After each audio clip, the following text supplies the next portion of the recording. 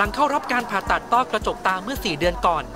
มาลีล้วนเมืองต้องพบแพทย์เดือนละ 1-2 ครั้งตามนัดศักดาล้วนเมืองพี่ชายของมาลีบอกว่า แต่ละครั้งที่มาโรงพยาบาลต้องใช้เวลาเกือบทั้งวัน เพื่อรอพบแพทย์ตรวจเพียง 3 นาที ก็จะใช้เวลาสักประมาณช่วงเช้า ช่วงเช้านี่หมายถึงว่าถ้าบวกเราจากเดินทางจากบ้านด้วยอะไรด้วยก็ช่วงเช้านี่ก็ถึงประมาณไม่เกินเที่ยง แต่ถ้าเราได้คิวหลังๆช้าๆหน่อยก็บางครั้ง ถ้าคนป่วยเยอะนี่ก็น่าจะน่าจะเลยเที่ยง น่าจะเลยเที่ยงก็อาจจะเป็นบ่ายโมง หน้าห้องจ่ายยาของโรงพยาบาลพระจอมเกล้าจังหวัดเพชรบุรีนานแน่นไปด้วยผู้ป่วยจากทุกแผนกที่มารวมกัน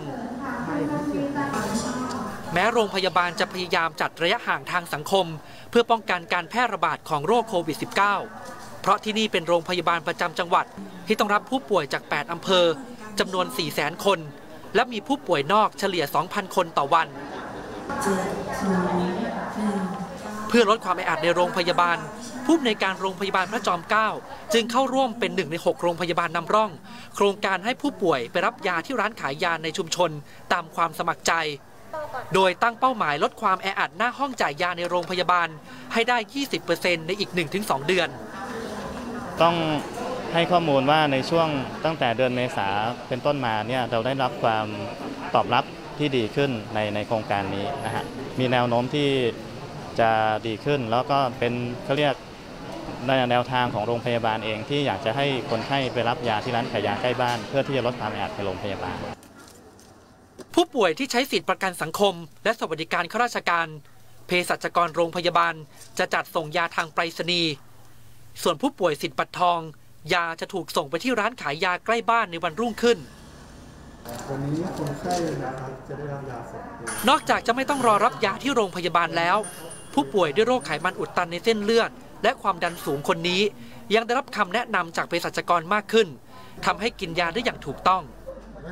พี่ก็โอเคนะคะ ในส่วนหนึ่งเพราะว่าเภสัชเนี่ยเขามีความชำนาญความรู้เรื่องอย่างนี้ คือถ้ามันเป็นยาตัวเดียวกัน ใช่ค่ะถ้าถ้ามัน ต่างจากที่เราเคยทำเราก็ต้องถามกับเขาใช่ไหมคะแต่ถ้าเราถ้าเราไม่มั่นใจจริงๆนะแต่พี่ว่ามันเป็นไปไม่ได้อะเพราะว่าการที่เภสัชจัดให้เราเนี่ยเขามีความรู้แหละแล้วมันเป็นจากหมอใบสั่งยาของหมอมา คงไม่มีอะไรผิดพลาดยาที่ได้รับจากร้านขายยาใกล้บ้าน ยังเป็นยาที่มาจากโรงพยาบาลพระจอมเกล้าแต่ในปีหน้า ร้านยาจะต้องเป็นผู้จัดซื้อยาเอง โดยสำนักงานหลักประกันสุขภาพแห่งชาติ หรือสอปสช จะตั้งงบหมุนเวียนให้กับร้านยาที่เข้าร่วมโครงการ 8,000 บาทต่อปี เพื่อสต็อกยา ซึ่งจะช่วยลดภาระค่ายาของโรงพยาบาล ซึ่งคิดเป็น 35%ของงบประมาณรายจ่าย ต่อไปในอนาคตเนี่ยโรงพยาบาลก็จะสามารถเอาห้องยาผู้ป่วยนอกนี่ออกนอกโรงพยาบาลได้นะครับหรือเฉพาะผู้ป่วยใน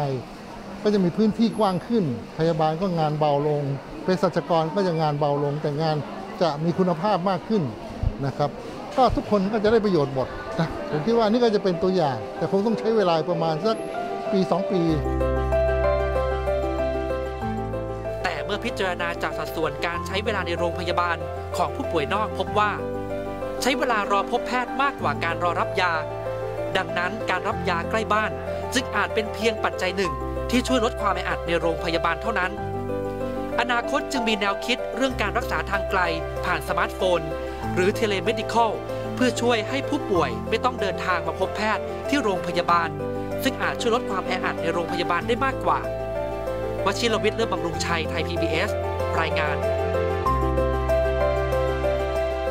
ไม่มีใครเถียงเลยค่ะ ว่านี่เป็นภารกิจจำเป็นที่จะต้องลดความแออัดในโรงพยาบาลนะคะ แต่คำถามที่ตามมาคือแล้วจะเอางบประมาณ ด้านสาธารณสุข 45,000 ล้านบาท มาจากวงเงินกู้ 1 ล้านล้านนั้นเหมาะสมจริงหรือไม่ นี่เป็นข้อสังเกตที่เกิดขึ้นจากนักเศรษฐศาสตร์ TDRI นะคะที่มองว่าจริง ๆ แล้วถ้าใช้งบประมาณปกติที่มีอยู่แล้วก็น่าจะเพียงพอค่ะ